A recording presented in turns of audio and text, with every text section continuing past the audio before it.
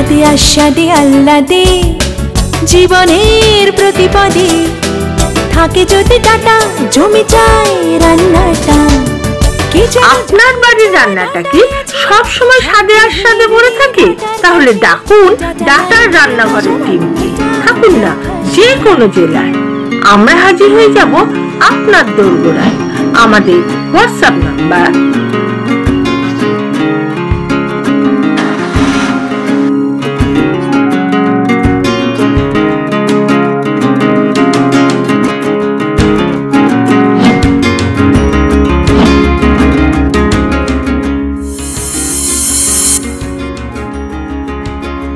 নমস্কার।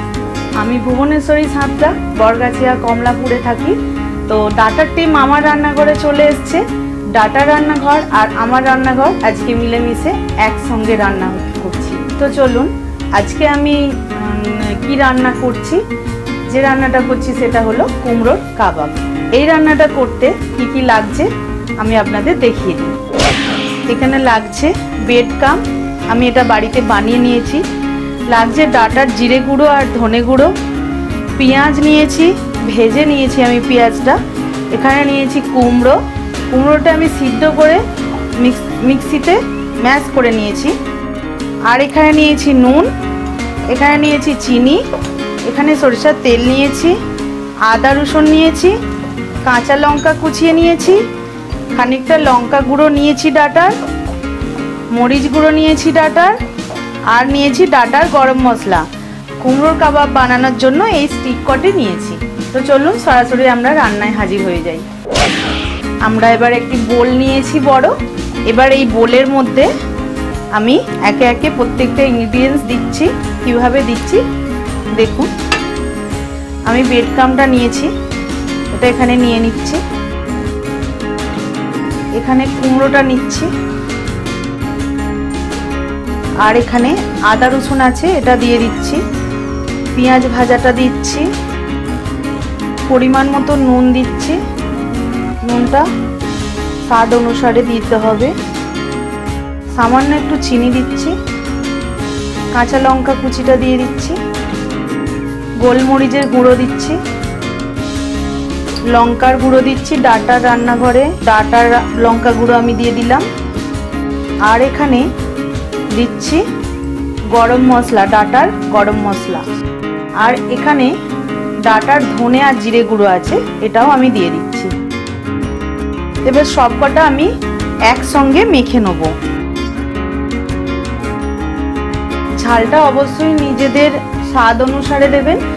আর আমি এখানে প্রত্যেকটা মশলা আমি পরিমাণ মতো আমার রান্না যতটুকু লাগবে আমি নিয়েছি।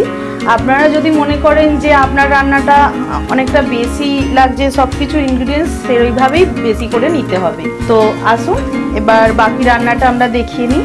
কুমড়োর কাবাবটা বানাতে আমি স্টিকগুলো নিয়েছি। তো এই স্টিকগুলোতে ঠিক এইভাবে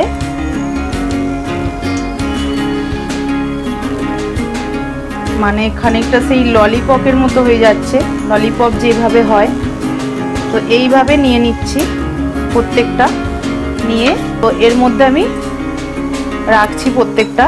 ঠিক সেম প্রসেসে আমরা প্রত্যেকটা এইভাবে করে নেব।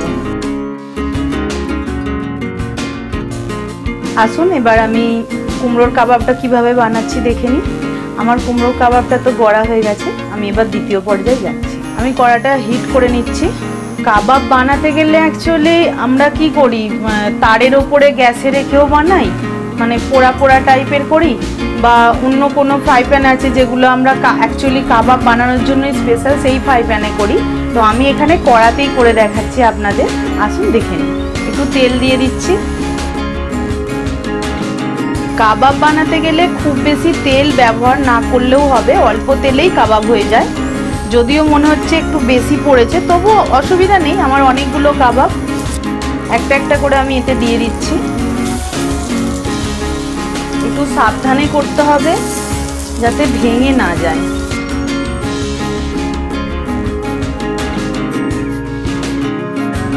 একটা পিঠ ততক্ষণ হোক, কিছুটা পরে আমরা তার উল্টো পিঠটা হয়েছে এটা দেখে নেব। এবার আমরা উল্টে দেখছি, এই যে দারুণ কালার এসে গেছে। প্রত্যেকটাই খুব সুন্দর হয়েছে পিছন দিকটা। এটা আমরা হাতে করেও উল্টে নিতে পারি। তো সাহস হচ্ছে না। দারুণ কালার এসে গেছে কিন্তু। দ্বিতীয় পিঠটা হয়ে গেলেই আমাদের কুমড়োর কাবাবটা একদম রেডি হয়ে যাবে। আমরা এটাকে সার্ভ করব। আমার দু সাইডেই আমি ভালো করে কাবাবটা ভেজে নিয়েছি। খুব সুন্দর তৈরি হয়েছে। আর যেহেতু আমি ডাটার মশলা দিয়েছি, খুব একটা ভালো দারুণ সেন্ট বেরিয়েছে। যেটা আমি পাচ্ছি। আর আপনারাও যদি এই সেন্টটা চান, অবশ্যই কিন্তু এটা বাড়িতে বানাবেন। বানিয়ে কিন্তু অবশ্যই আমাকে জানাবেন। এটা কোথায় জানাবেন? ডাটার কমেন্ট বক্সে যাবেন। ডাটার রান্নাঘরের কমেন্ট বক্সে যাবেন। গিয়ে অবশ্যই সেখানে কমেন্টে আমাকে জানিয়ে দেবেন এটা কেমন হয়েছে। আমি এগুলোকে এবার একটা পাত্রে নিয়ে নিচ্ছি। আমি আমার মতো একটা টে ইউজ করেছি।